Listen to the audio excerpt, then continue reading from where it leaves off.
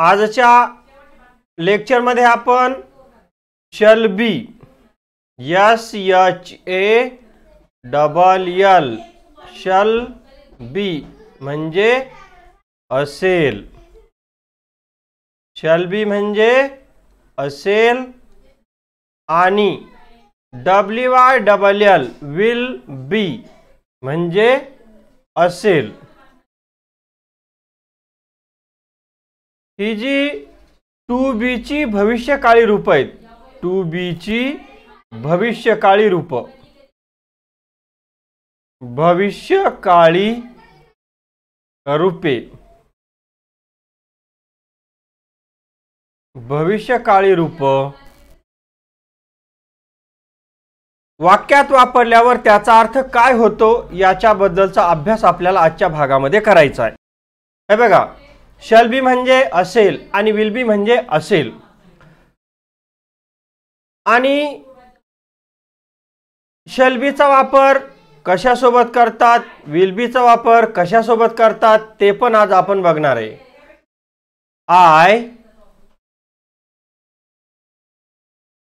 we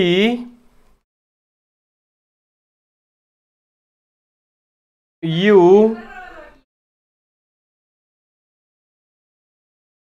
you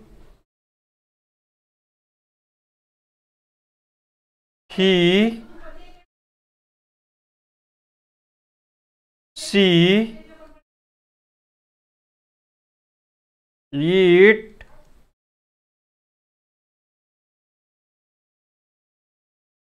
आणि दे. तसंच एखादं नाव घेऊ आपण. राम. एखादं अनेकवचनी नाम घेऊ आणखीन. पीपल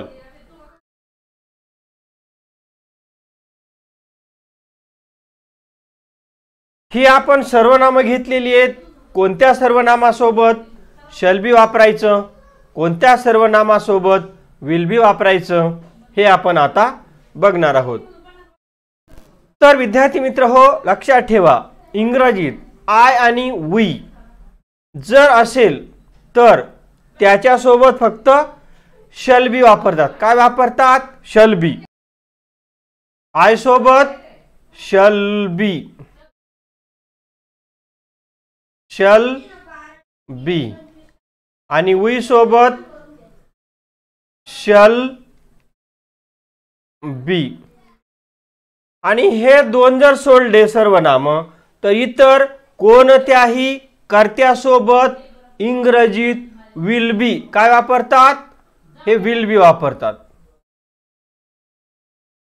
आणि याच्यासोबत मुख्य क्रियापदाचं चौथं रूप. कितवं रूप वापरतात? मुख्य क्रियापदाचं टू बीच्या भविष्यकाळी रूपासोबत मुख्य क्रियापदाचं कितवं रूप वापरतात? मुख्य क्रियापदाचं चौथं रूप वापरतात. कितवं? ज्याला इंग्रजीमध्ये आय एन जी जोडलेलं असतं. मुख्य क्रियापदाचं जे पहिलं रूप आहे त्याला काय जोडतात? आय एन जी आणि आय एन जी जोडल्यावर मुख्य क्रियापदाचं चौथं रूप तयार होतं. जसं की आपण राईट हा शब्द घेऊ. Write W R I T I N G writing writing म्हणजे रायटिंग म्हणजे लिहित. आपण बघितलं याच्या अगोदर मुख्य क्रियापदाच्या चौथ्या रूपाचं मराठीत भाषांतर केल्यावर मराठीत भाषांतर केलेल्या शब्दाच्या शेवटी त येतं. रायटिंग म्हणजे लिहित. पुढचा शब्द घेऊ. Reading R E A D I N G reading म्हणजे वाचत. रीडिंग म्हणजे वाचत. पुढचा शब्द घेऊ. Going. G O I N G. Going म्हणजे जात. गोईंग म्हणजे जात. तर याच्यासोबत मुख्य क्रियापदाचं शेल्बी आणि विलबी सोबत मुख्य क्रियापदाचं रूप घ्यायचं असेल तर कितवं घेतात? चौथं. आपण रायटिंग घेऊ. I shall be writing I shall be writing लिहून काढावं काय होईल याचा अर्थ? आय शॅल बी रायटिंग मी लिहित असेल. मी लिहित असेल. शॅल बी म्हणजे असेल. रायटिंग म्हणजे लिहित. आय शॅल बी रायटिंग मी लिहित असेल. त्याच्यानंतर we shall be writing we shall be writing याचा अर्थ काय होईल? आम्ही लिहित असू.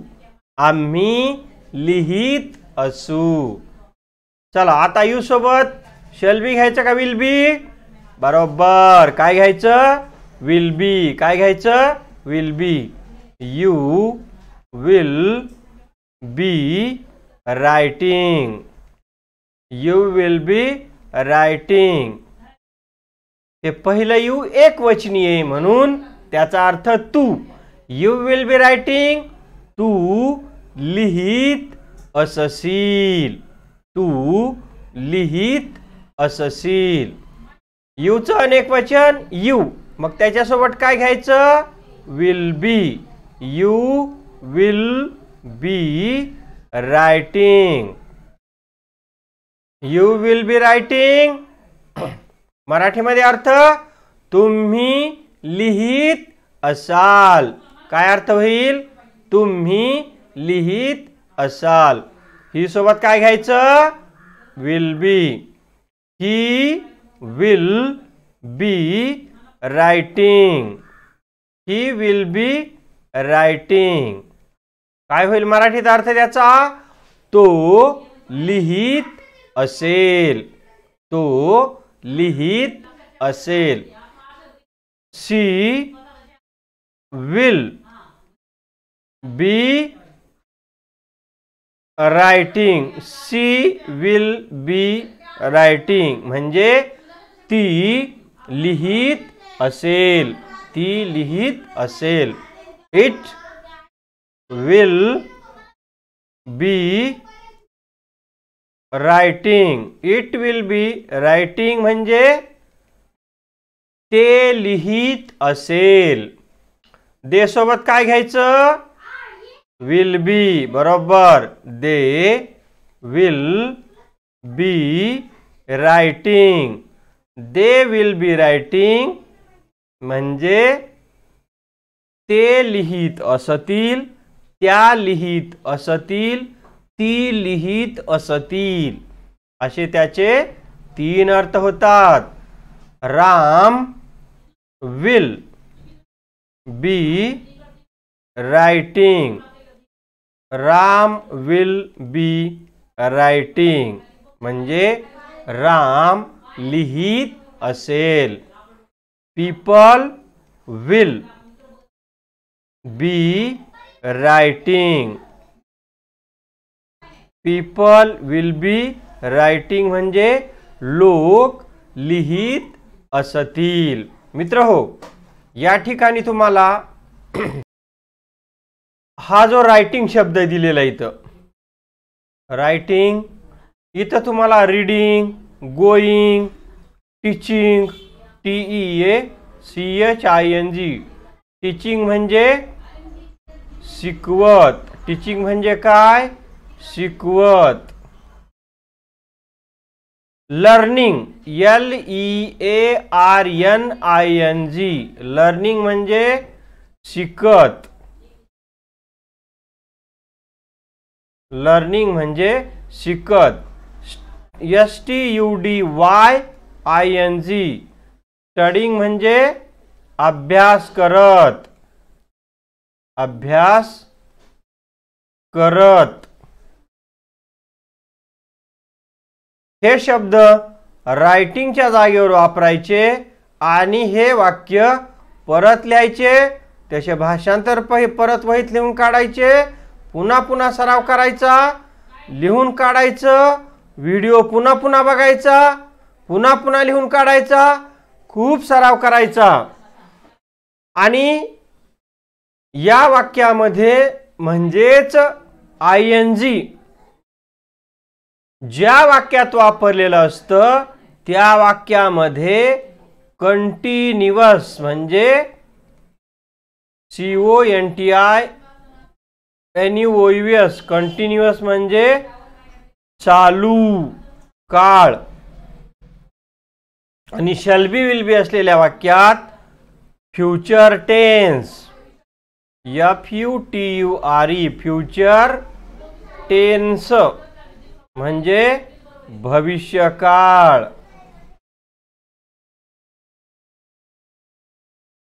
फ्युचर टेन्स म्हणजे भविष्यकाळ. म्हणजे या वाक्यामध्ये कोणता काळ असतो? फ्युचर कंटिन्युअस टेन्स म्हणजे चालू भविष्यकाळ. मित्रांनो ही वाक्य पुन्हा पुन्हा लिहून काढा. सराव करा. कारण पुढं आपल्याला याच वाक्यांची नकारार्थी वाक्य प्रश्नार्थक वाक्य प्रश्नार्थक नकारार्थी वाक्य अशी विविध प्रकारची वाक्य बनवायची आहे. आणि आपलं जर हे पक्क झालं तर पुढचा भाग समजायला खूप सोपा जातो. तसंच आपण आत्तापर्यंत शलबी आणि विलबी सोबत आजच्या भागामध्ये काय वापरलं? मुख्य क्रियापदाचं चौथं रूप. पण याच्यासोबत नाऊन किंवा ॲडजेक्टिव्हसुद्धा वापरलं जातं. तर ते का ते वापरल्यावर त्याचा अर्थ काय होतो ते आपण आता बघूया. परत आपण हे करते लिहून काढू. एक आय दोन आयचा अनेक वचन वी तीन यू चार यूचा अनेक वचन यू पाच ही सहा सी सात ईट आणि ह्या ही सी आणि इट या तिन्हीचा अनेक वचन दे. नऊ राम दहा people P E O P L E. मित्र हो आपल्याला माहिती आहे. कोणत्या सर्वनामासोबत शलबी वापरायचं आणि विलबी वापरायचं माहिती आपल्याला? आय सोबत आय शल बी वी सोबत शल बी यू सोबत विल बी दुसऱ्या यू सोबत विल बी ही सोबत विल बी हे तुम्हाला लिहून काढायच्या वहीमध्ये पुन्हा पुन्हा लिहा.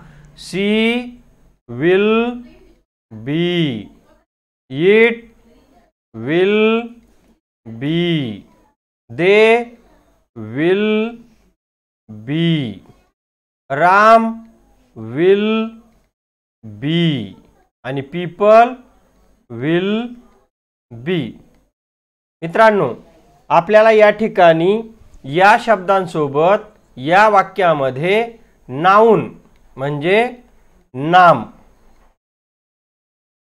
आणि ॲडजेक्टिव्ह म्हणजे विशेषण. ॲडजेक्टिव्ह म्हणजे विशेषण. वापरल्यानंतर त्याचा अर्थ काय होतो ते बघायचं आहे शलबी विलबी म्हणजे या ठिकाणी शलबी आणि विलबी शल बी आणि विल बी. याचा अर्थ असेल किंवा होईल. असेल किंवा होईल. असा घ्यायचा आहे. असेल किंवा होईल. मग आपण इथं आय शल बी क्लेव्हर. हे घेऊ. I shall be clever clever म्हणजे हुशार. आणि त्याचा अर्थ काय होईल मग? आय शल बी क्लेव्हर मी हुशार होईल. किंवा मी हुशार असेल. दोन अर्थ होता त्याचे आय शल बी क्लेव्हर मी हुशार होईल. किंवा मी हुशार असेल. We shall be clever C L E V E R clever म्हणजे हुशार. वी शॅल बी क्लेव्हर आम्ही हुशार होऊ किंवा आम्ही हुशार असू. You will be clever C L E V E R clever. तू हुशार होशील. चार यू विल बी क्लेव्हर. आणि क्वेश्चन यूचं तुम्ही हुशार व्हाल. He will be clever C L E V E R he will be clever तो हुशार होईल. सी विल बी क्लेव्हर ती हुशार होईल. It will be clever C L E V E R it will be clever ते हुशार होईल. प्रत्येक वाक्य तुम्हाला वहीमध्ये लिहून काढायचं आहे. They will be clever C L E V E R. ते हुशार होतील त्या हुशार होतील ती हुशार होतील. Ram will be clever C L E V E R Ram will be clever Ram हुशार होईल. People will be clever C L E V E R लोक हुशार होतील. मित्रांनो आपण या ठिकाणी क्लेवर शब्द घेतला. तुम्ही इथं पिऊन घेऊ शकता. पीई ओ एन पिऊन म्हणजे शिपाई. पिऊन म्हणजे शिपाई. त्याच्यानंतर टीचर घ्या, घेऊ शकता. T E A T H E R teacher म्हणजे शिक्षक. टीचर म्हणजे शिक्षक. त्याच्यानंतर फार्मर घेऊ शकता. F A R M E R farmer म्हणजे शेतकरी. फार्मर म्हणजे शेतकरी. असं ज्या ज्या ठिकाणी क्लेव्हर दिसतंय इथं क्लेव्हर आहे. या प्रत्येक ठिकाणी तुम्ही इथं दिलेले विशेषण किंवा नाऊन बदला आणि वाक्यांचा वहीमध्ये लिहून पुन्हा पुन्हा सराव करा. कारण याचीच नकारार्थी वाक्य आपल्याला इथून पुढच्या भागामध्ये करायची आहे. म्हणून तुम्हाला हे अर्थ येणं अत्यंत गरजेचं आहे. हा व्हिडिओ पुन्हा पुन्हा बघा. हे पुन्हा पुन्हा लिहून काढा. पाठ करा. व्हिडिओ बघा. आणि ते आपल्या डोक्यामध्ये पक्क बसवा. जेणेकरून आपल्याला ते कधीही विसरणार नाही. आणि मग आपलं इंग्रजी परफेक्ट होण्याला मदत होईल. कळालं? धन्यवाद.